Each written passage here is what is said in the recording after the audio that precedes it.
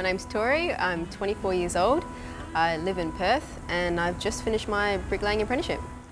I wanted to be a bricklayer because there are so many other avenues that I can take once I have become qualified. Also, I love working outdoors. I love the physical side of it. I love being in a team-like environment.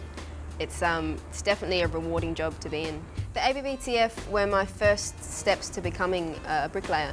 The supervisors are always there. They're very easy to talk to, so if I ever had an issue, I would just talk to them about it and um, sort it out.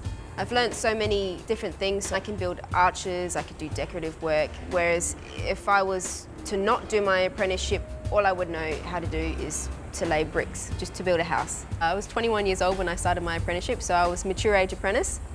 If I could have done it when I was 16, I definitely would have. I did a, apply for a lot of um, bricklaying jobs and, and other construction jobs, which I didn't, I didn't get. I do think the main reason I didn't get the job when I was 16, 17 was because I was female, but the times are changing and there are more females um, coming into the industry, which is great to see. I'd say to other females to give it a shot if it's something that you want to do, something that you're interested in, uh, just do it. Just get in there and give it a shot. I'd say I've been very successful. You know, I've participated in World Skills competition, participated in, in expos, and um, I successfully completed my apprenticeship. I was pushing a, a full barrow up a, a ramp and I, I, slipped up the ramp. There was sand on it and um, the barrow came down and I went in to the barrow. So maybe just dust off the ramp first before you start walking up it. People definitely think that women can't be bricklayers, but look at me. I'm, I'm very short, I'm quite petite, but I'm, I'm still managing to do the exact same job as the boys are doing. Yeah, it's definitely an illusion that you have to be big and muscly and bulky to be a bricklayer because I'm definitely not one of those things. And um, I even asked one of the boys when I first started if he was going home at the end of the day feeling physically exhausted, and yeah, he was. It was the exact same thing for him as it was for me. You become one of the boys, really. Just because I'm a girl doesn't mean I can't do the job.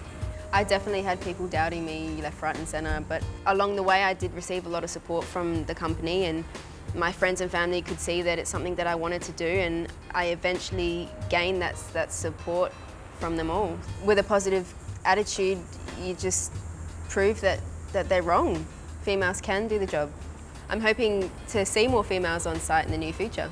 I'm fully qualified now and I'm on my way to Melbourne. I'll be working uh, through the ABN group still. They've helped find me a, a host trainer over there, so I'll be on the tool still. There's always work. If you're a good worker, if your quality of work is at a high standard, you're, you're always going to find work. There is no single best thing about doing a bricklaying apprenticeship. I like all of it, every aspect of bricklaying I love. I loved it.